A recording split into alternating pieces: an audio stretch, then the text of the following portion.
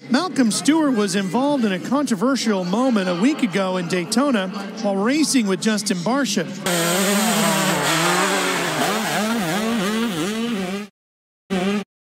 Stewart on the 34, Barcia on the 51, through the whoops they go.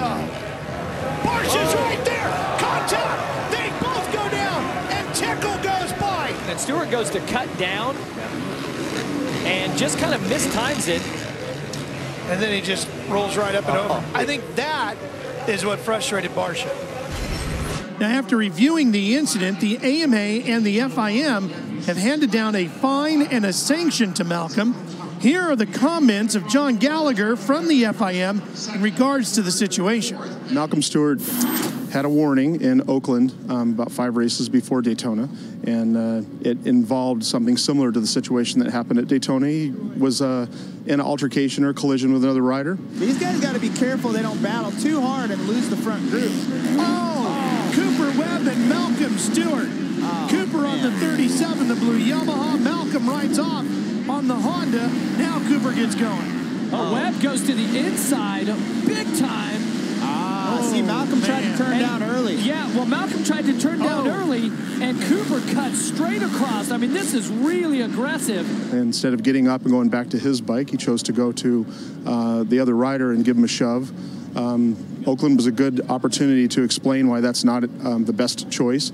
Um, focus is on getting back to your bike and your bike and getting racing. We got to Daytona. He felt that uh, there was a an altercation that he felt was more aggressive than it needed to be. Um, he decided that to do the same thing, and uh, he uh, um, had been warned once before, so ultimately he got fined uh, for doing it again. So for Malcolm Stewart, it is a $5,000 fine, and he's put on suspension, a probation, I should say. Malcolm should have realized that the position was Barcia's earlier.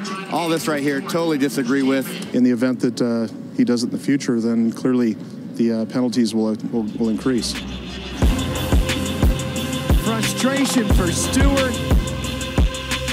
Here he is fighting out with Malcolm Stewart. They come together. Oh, wow.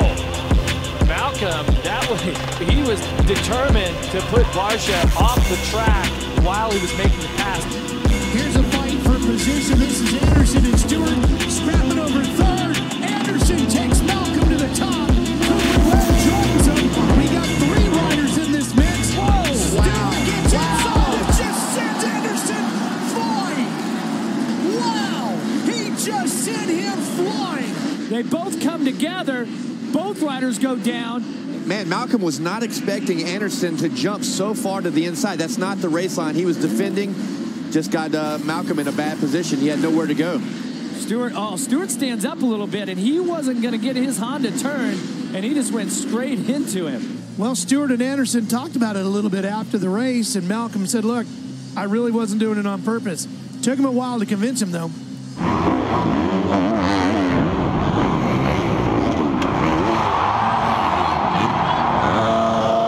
It looks fairly friendly, and then something, the words there, you can see the AMA official getting his, getting his arm in there.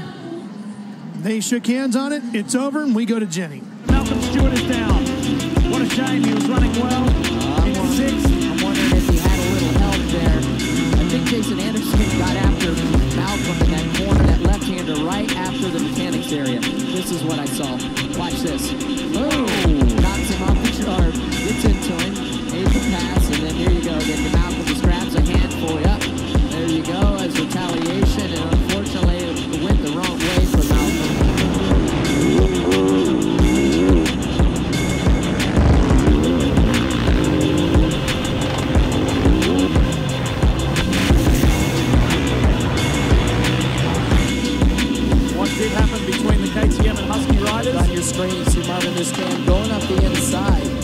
Just takes Malcolm. Malcolm is going to come down the corner.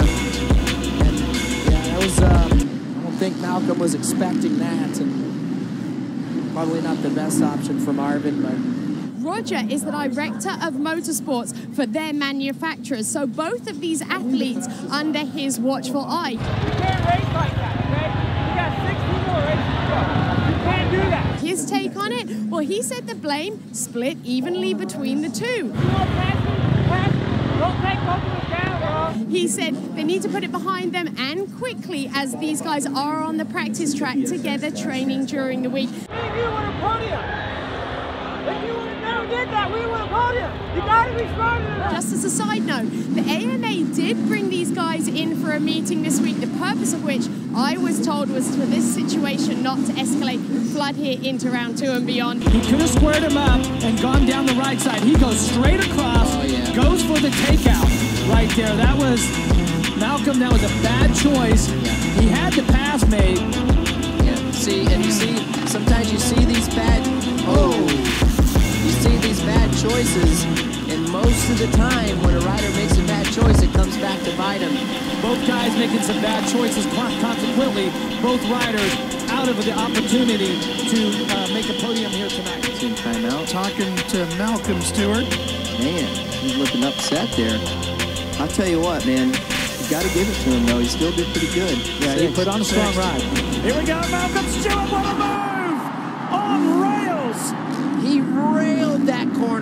set up early. Uh-oh, watch Here comes this. Barcia! Come on, Malcolm, you got to get up, go. This is going to be serious right here. Basically, Barcia just went for it. Straight up went for it. My goodness.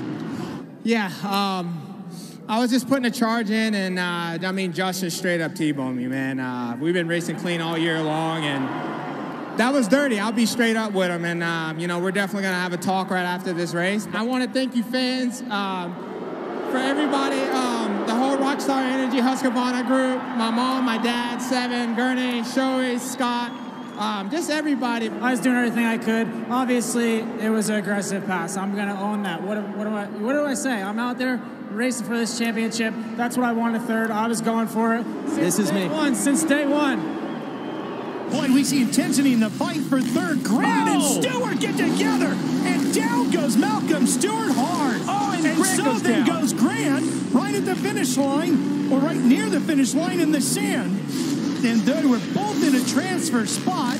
And now Grant's going to limp over the finish line jump, and he is not happy at all. And I'm guessing Malcolm's not too thrilled with him. Okay, so Grant, this was totally intentional right here, and Malcolm was locked into that rut. This is what happened earlier in the rhythm lane prior. Malcolm looked back and drifted over, and I'm thinking maybe that drift, whether it was intentional or unintentional, is what frustrated Grant.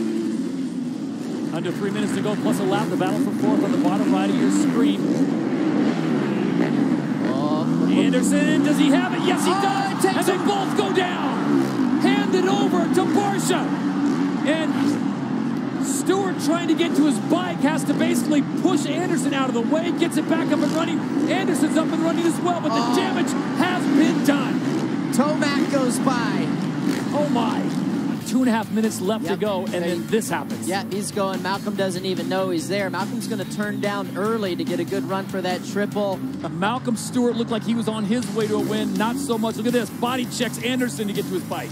Oh, here we go. Uh, this should be an interesting conversation. Yeah, I mean, it was getting towards the end of the race, and I just. Wow.